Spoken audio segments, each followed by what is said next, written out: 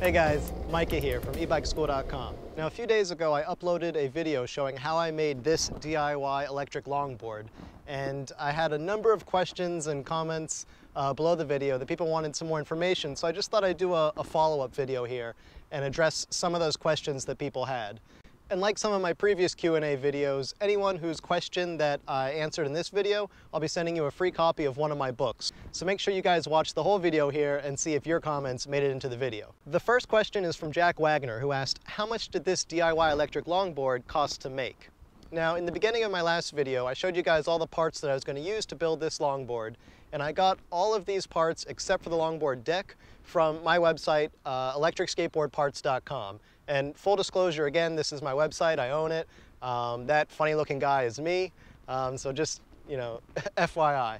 Anyways, the parts that I used were the basic kit, and this is a kit that includes all of the parts used uh, for the mechanical components. That's the wheels, the trucks, the motors, the speed controller, uh, the remote, basically everything besides the battery. So the entire power system mechanical kit costs $399.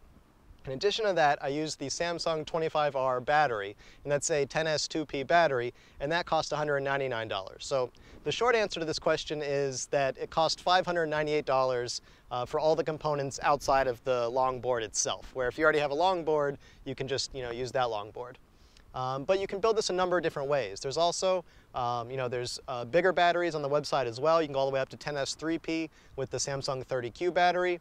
Or there's a smaller battery if you only need uh, you know, a little bit of range, um, which is the 10S1P Samsung 25R battery. Now that one, it, it's really good for sort of the last mile situation. Um, you know, it'll probably get you uh, four to five miles maybe, but um, it's not going to be a long distance battery. So that's really for um, lower powered or uh, short distance uh, electric longboards. Now, if you were to use that 10S 1P battery, that would drop the price of everything here down to about 518. And if you compare that to different things in the market, I think it's actually pretty reasonable. Now, this is a 1600 watt longboard, so if you compare that to like a 2000 or 2200 watt boosted board, which costs I don't even remember. I think it's something like $1,400 now. Maybe it's, maybe it's less than that. It's about a little more than a third of the price, um, but it's got almost as much power as a boosted board, and it allows you to choose the exact components you want. There are cheaper electric skateboards and electric longboards out there. You know, you can buy a, uh, a decent electric longboard for, uh, I think like the Meepo's what, like 400 bucks now or something. But um, for me, you know, it's having that extra power and the extra range over boards like that that I just prefer. And then of course the ability to, to build it yourself. You know, I'm very much a DIY guy.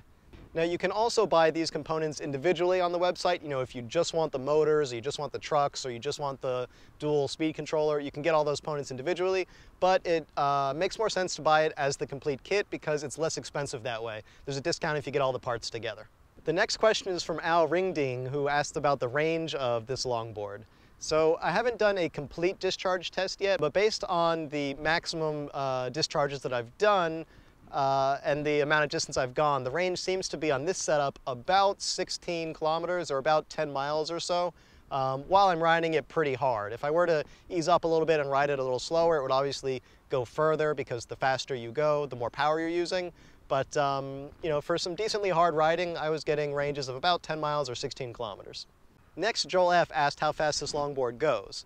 Now in the beginner mode, because there's two modes uh, in this remote and controller, the beginner mode goes about 19 miles an hour and the advanced mode goes about 26 or 27 miles an hour. Now I generally keep it in the beginner mode because going like 19 or 20 miles an hour is you know perfectly good for me. Getting up over that I start to get into the speed wobbles a little bit and so you know 19, 20 miles an hour that's, that's sort of my sweet spot for where I like to cruise at. Uh, but you can go faster, you know, just pop it into the advanced mode, though it will use more power that way.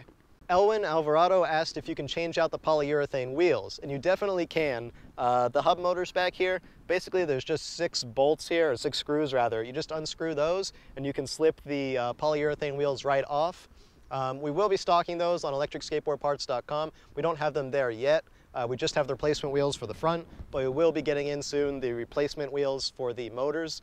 Um, I've been riding this one around, uh, well not this one because I just built it, but the last one I had before this I've been riding around for I think like two or three months and there's very little wear on the, the polyurethane wheels. So I don't think you'll be needing to replace those very quickly, but we will have those up there soon. So if you do need some, you know, replacement wheel covers, you can slide those suckers on. Musterman was wondering if 1600 watts is too much power and if the board would just like shoot out from under you.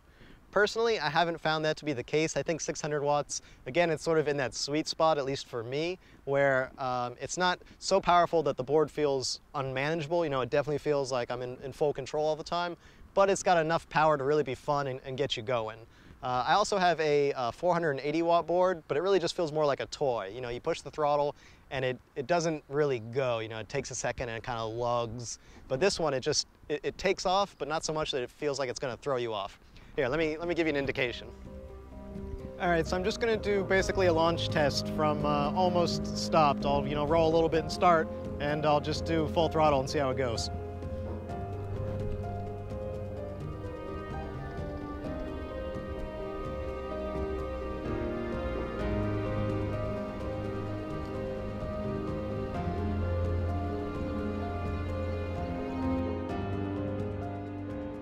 So basically it's got a nice, you know, pretty strong push right off the line, but it's not so strong that it feels like it's gonna shoot out from under you. You know, it still feels like you're in control of it the whole time. So, you know, 1600 watts of power, it's a nice amount of power, but it's not too much in my opinion.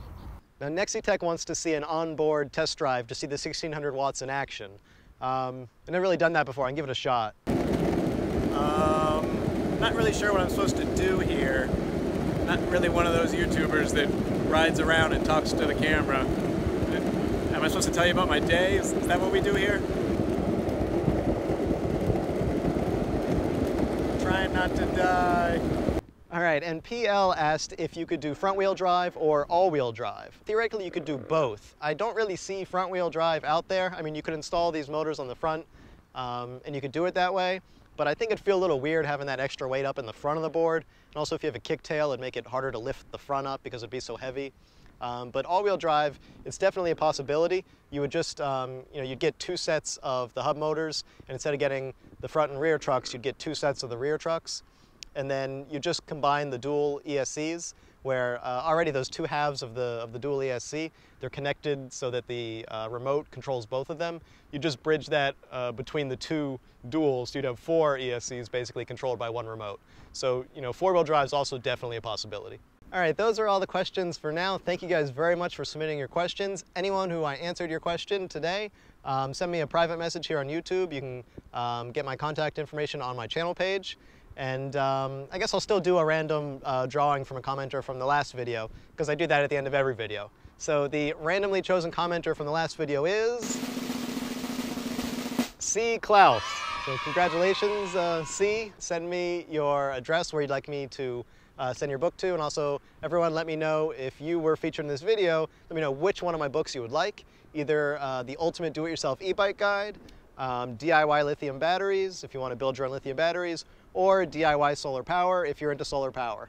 Uh, thank you guys for watching. Let's see, uh, last thing, anyone who's following the progress on our V2 high power Vruzend battery kits, uh, we're really seriously, dangerously close to uh, debuting these. I know I've been saying that for a while, but this time I think we're within, uh, we're probably within seven to 10 days of, of, opening it up, revealing all the specs and opening up the first orders. Uh, if we can get it in the next week, then my next video will be announcing that. Um, as of now, we're finished with the prototypes. The latest tests are showing that we're probably going to rate them at uh, 20 amps continuous. We've actually tested them at higher. Uh, we've tested them up to 25 amps. They've been performing well, but um, we're probably going to to list them a little conservatively at 20 amps just because we don't want to be like the rest of the battery industry and find out what the absolute like danger limit is and back off a tiny bit and call that the rating. But we think 20 amps is definitely, uh, 20 amps per cell that is, is definitely going to be um, uh, able to open a lot of doors for you guys that want to build higher power batteries or that need smaller parallel groups. So that is coming. Hopefully it's my next video if we can get it done in the next week. Uh, if not, it'll probably be the video after the next video. And we're real excited to get that out for you guys. All right, thanks for watching everybody. Take care guys, see you next time.